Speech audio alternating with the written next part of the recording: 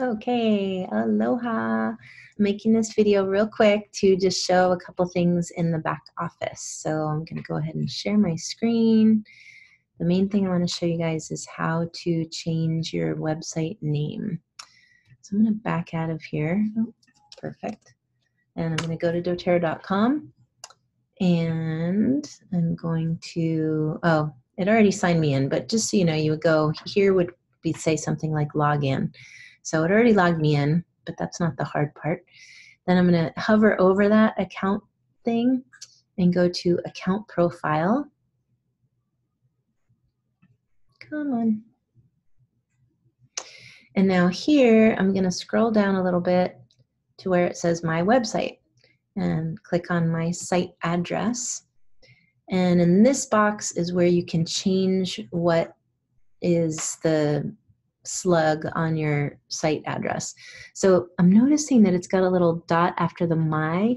Used to be it was just mydoterra.com backslash and whatever you put there, your name or I Heart Oils or whatever you want to put there, you can put there. Um, and then you can also upload a photo you can write a little blurb. And since they updated the website, my blurb disappeared. So I've got to write a new little blurb. Um, and that's about it. And on this website, oops, on this website, you can, um, oh, well, I'll show you. Let me show you the website. Open up a new tab. mydoterra.com backslash, oops, backslash Okay. So this website is going to look exactly the same for everyone, except it's going to have whatever picture you upload. It could be a picture of a bottle of lavender. I think that might be the default. Um, or whatever you want to put there, really. Um, it's got these three awesome videos, so anyone you send here gets to see these these really great introductory videos.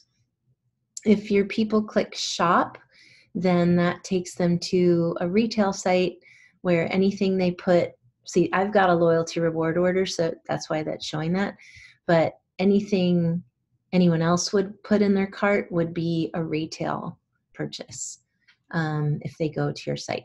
Otherwise they can click become a member. Um, they can get a little bit of essential oils education have some do it yourself and recipes but the main reason you know, is anyone who shops here or enrolls to become a member, um, it will automatically credit it to your account. So that's pretty nice. And um, one thing that's kind of a bummer about this new website is that these kits, I'm not even seeing the arrows anymore. So here it's just showing the most expensive kit. Um, Usually it's got arrows that'll scroll through all the other kits. Hmm. Hopefully they'll fix that. Maybe if you click this, wholesale customer.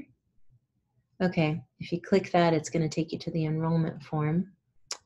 Um, probably when you do that, then I'll have to tell them about this. Anyway, um, you get the idea. So just wanted to show you the website and this is what it looks like. So um, have any questions about this, feel free to give me a call. There's other things you can probably look at through your account profile, but just hovering over account is where you can get to your account profile. You can see your orders. You can go to your back office. Um, and I guess I'll do a whole nother video about the back office because there's a lot to see here. Okay, ciao. Stop share and hmm, ciao.